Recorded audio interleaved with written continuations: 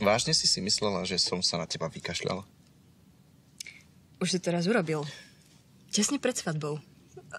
Ty si urobila presne to isté. Dobre, to je síce pravda, ale od muža sa to nepatrí. Oh. Spôsobom, na čo vy hovoríte.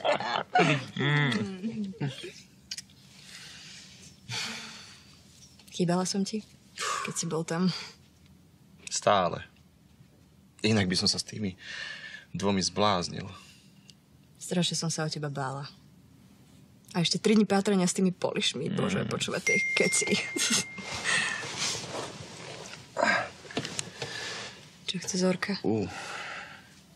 A jasné, rozbieha sa biznis a ty si jej najlepší človek. Peti, ja som už iba tvoj človek.